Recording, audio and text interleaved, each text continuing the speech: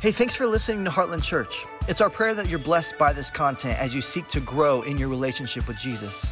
However, we don't intend for this content to take the place of your weekly worship and community in a local church. So if you need help finding a gospel centered church in your area, please contact us online at www.connectatheartland.com.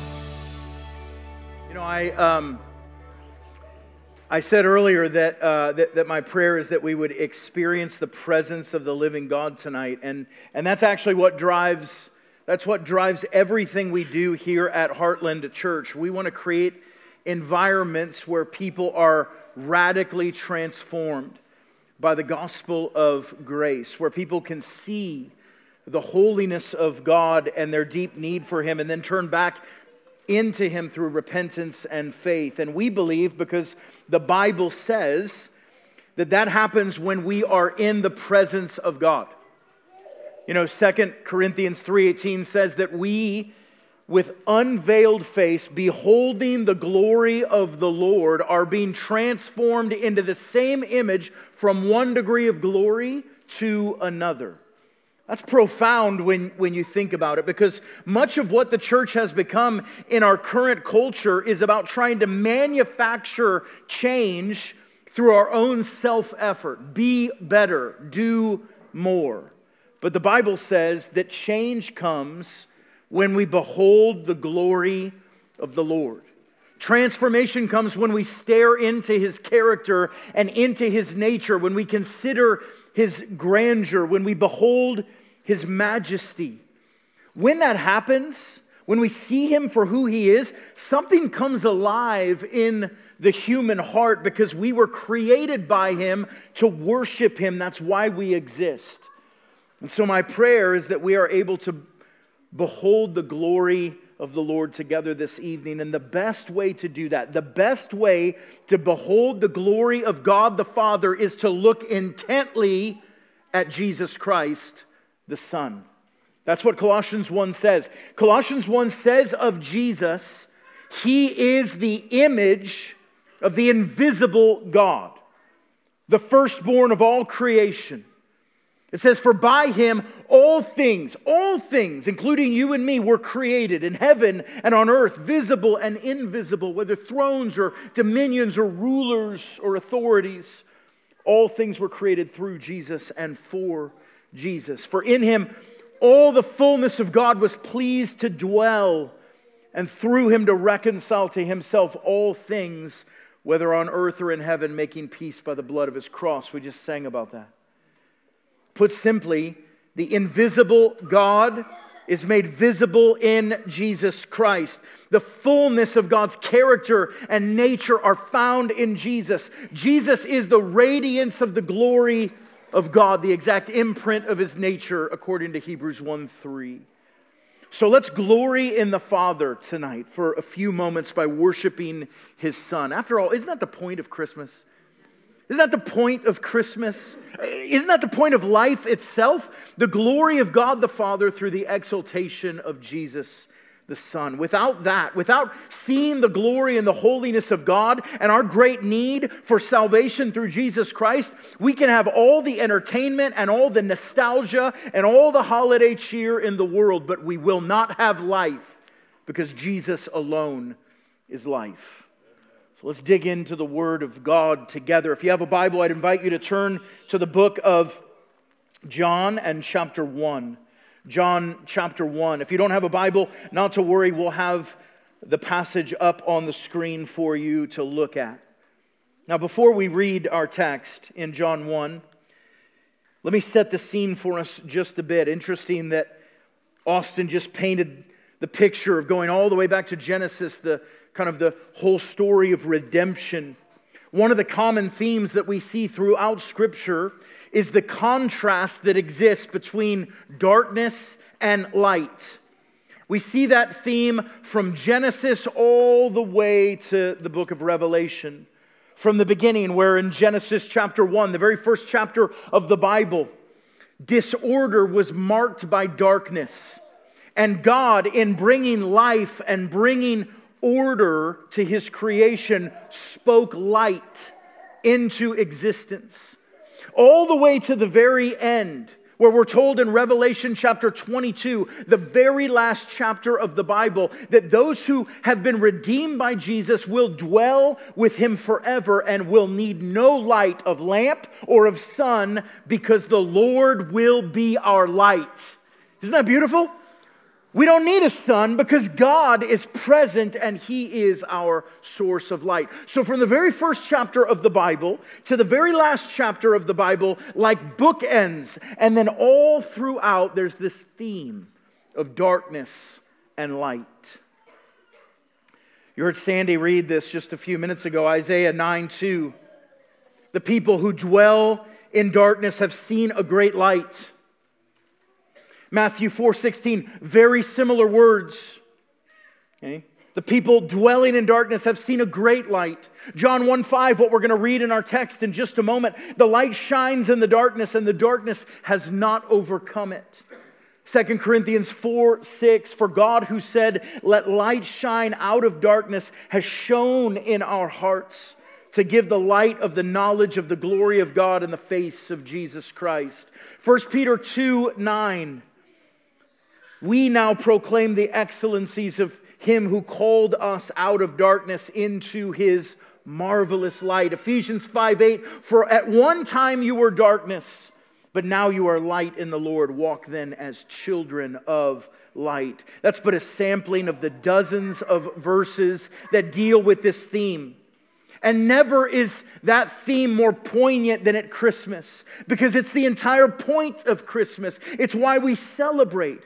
Where there was darkness and death, God has brought light and life. That's the message of Christmas. And it's the reason why I want to look at John chapter 1 together, because this is one of the clearest explanations of how all of this is really about the person and work of Jesus Christ. So, John chapter 1, beginning in verse 1. In the beginning was the Word, capital W was the Word. And the Word was with God, and the Word was God. He, it's talking about the Word, He was in the beginning with God. All things were made through Him.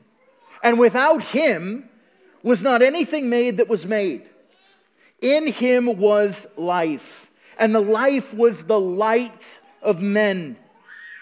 The light shines in the darkness, and the darkness has not overcome it. Family gathering. Oh. Sounds like my house. It's beautiful. All right. Verse 6, listen. There was a man sent from God whose name was John. This is John the Baptist. Okay? He came as a witness to bear witness about the light, that all might believe through him. He was not the light, but came to bear witness about the light. The true light, which gives light to everyone, was coming into the world. He was in the world, and the world was made through him, yet the world did not know him. He came to his own, and his people did not receive him. But to all who did receive him, who believed in his name, he gave the right to become children of God, who were born not of blood, nor of the will of the flesh, nor of the will of man, but of God. And the Word, capital W, and the Word became flesh and dwelt among us. And we have seen his glory, glory as of the only Son from the Father, full of grace and truth. This is the word of God for us tonight. Let me pray, and then we're going to unpack this for just a few moments. All right, let's pray together. Father, thank you for this word. Thank you for this reminder of the gospel tonight where we see the radiance and the beauty and the preeminence of Jesus. We ask, God, that you would write these words on our heart, that we would be forever changed, that you would do a work and redeeming us tonight, God, and drawing us closer to yourself, God. So have your way with us, we pray, in Christ's name. Amen.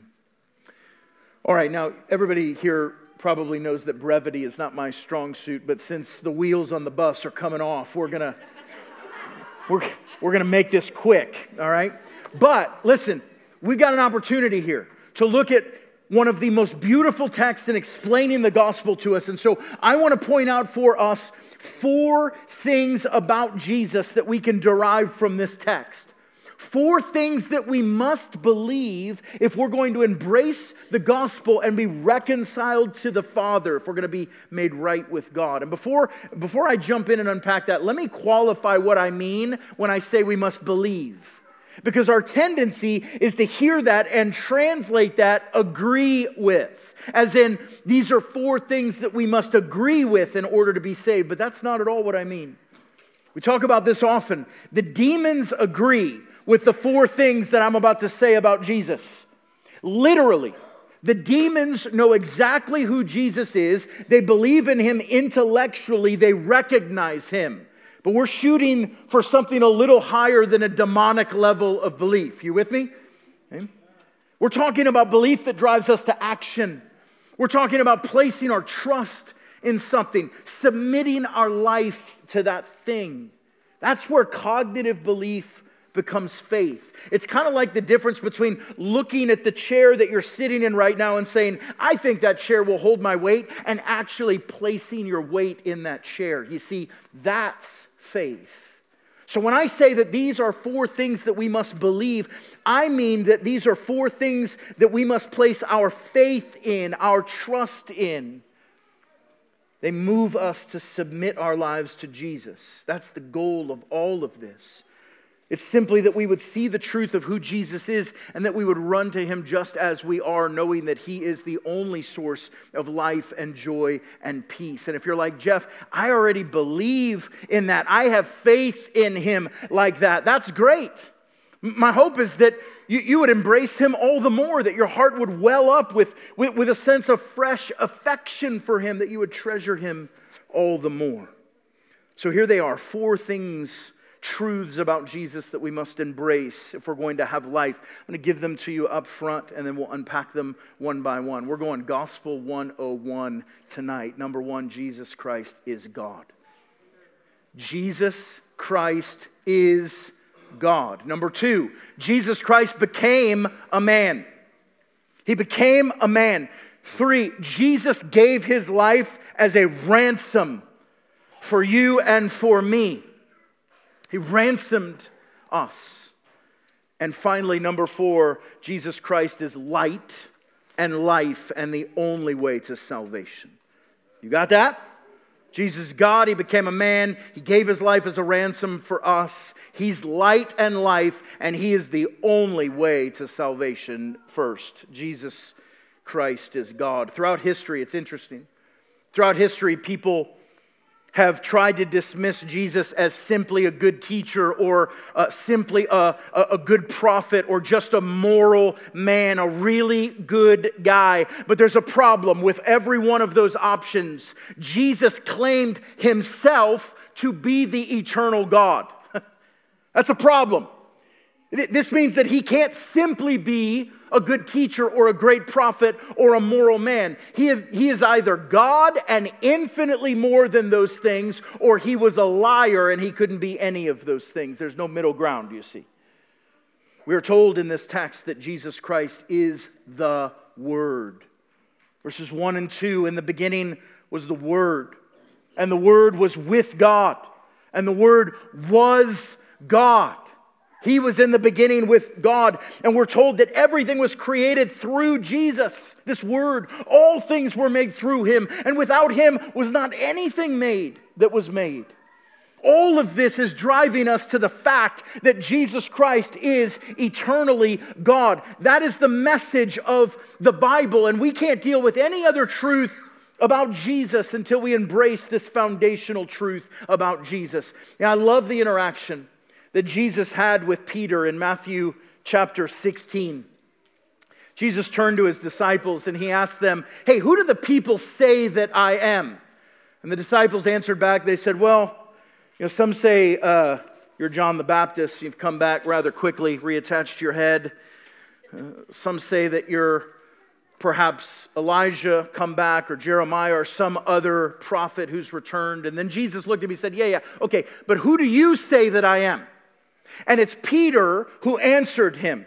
And Peter said to him this You are the Christ, which means Messiah. You are the Christ, the Son of the living God. And I love how Jesus responds back to him. He said, It's not the flesh that revealed this to you, Peter, it's the Father. We must believe that Jesus is God, but that's not all we must believe. We must also believe that Jesus Christ became a man. That's our second point. Jesus became a man. Look again at verse 14, skip down. And the Word, the same Word that was with God and was God, the same Word that is eternal, the same Word through which everything was made, that same Word became flesh and dwelt among us. We've seen His glory Glory is of the only Son from the Father, full of grace and truth. It's not enough to believe that Jesus is God. We must believe that He's God incarnate, that He stepped out of heaven, that He took on the form of His own creation, that He invaded time and space, the light of God entering the darkness of this world. But why? Why is it so important that we believe that? It's important because if we don't believe that Jesus Christ is both God and man, then he's never able to uniquely accomplish this third thing that Jesus gave his life as a ransom for us. Only God incarnate can do this. Only God incarnate can do this. Now, this is not explicitly written in the text, but because it's the central theme of the gospel and it's taught pervasively throughout the pages of Scripture, I feel pretty confident including this point. Verses 12 and 13 explain the result of Jesus ransoming us. It says, But to all who did receive him, who believed in his name, listen to this language, he gave the right to become children of God who were born not of not of blood, nor of the will of the flesh, nor of the will of man, but born of the will of God. Friends, this is the point of the entire Bible. It's the, it's the point of the entire Bible. Mark 10 45. The Son of Man, that's Jesus, came not to be served, but to serve and to give his life as a ransom for many. Uh, Romans 5 8, but God shows his love for us in that while we were still sinners, Christ died for us. 2 Corinthians 5:21, for our sake he made him to be sin, Jesus, who knew no sin, so that in him we might become the righteousness of God.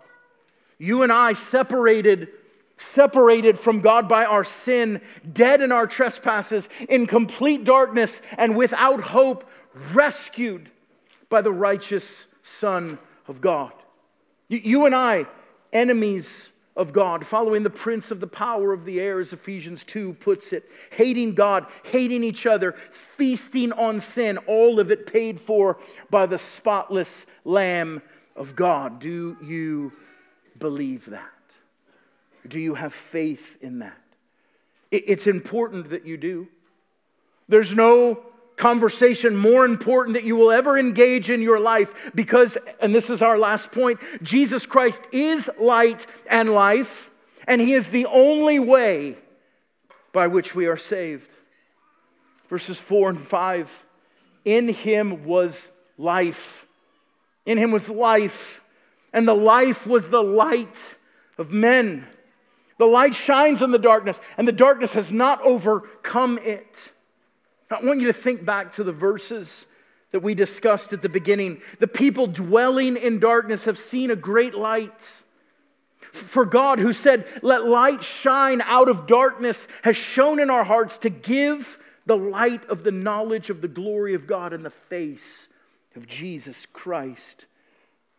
Where darkness and death once reigned, God has invaded with light and life through Jesus Christ where we, were, where we were enslaved by sin and marked by separation from God, He sent His Son to bring us salvation. I want you to think about this. I'm almost done. I want you to think about this.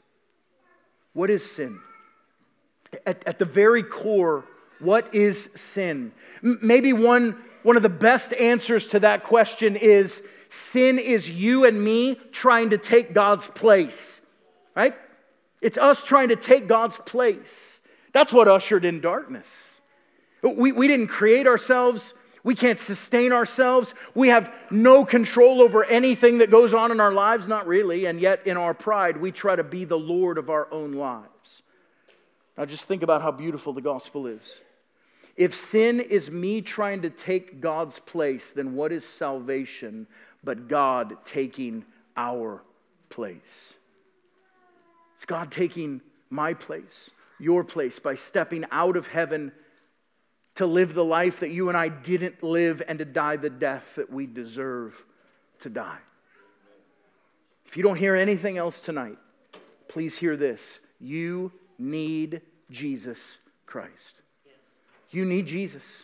More than anything else in your life, you need Jesus. You need Him like you need air. You need Him like you need water, like you need food. You need Him more and more with each passing minute. And so do I, because without Him, we will not know God.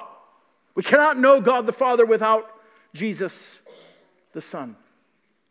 Galatians chapter 4, verses 4 and 5 says this But when the fullness of time had come, God sent forth His Son, born of a woman, born under the law. Why? To redeem those who were under the law so that we might receive adoption, sons and daughters. The only way, the only way to be reconciled to God the Father is through Jesus Christ the Son. It's by placing our faith and our trust in Him. Hear that tonight, friends. That's the message of the gospel. Let's pray together. Father, we thank you for who you are. This is all orchestrated, God. This all has been orchestrated by you. This is about you, God. So we thank you, God, for your love for us. It's your love for us, God, that has pursued us. It's your love, God, that you set upon your people before the foundation of the world, God. This is all your work. And we thank you for that, God. We pray that you would do a work in our hearts, God, to show us the truth. God, we pray that you would work to bring us near, to reconcile us, God. Would you have your way? Stir in us, God. Show us your glory. Show us what's true. And God, bring us to an end of ourselves. Bring us to an end of ourselves that we might see our great need for Jesus. We pray all of this in His name because it's powerful, it's mighty, it's beautiful, it's majestic.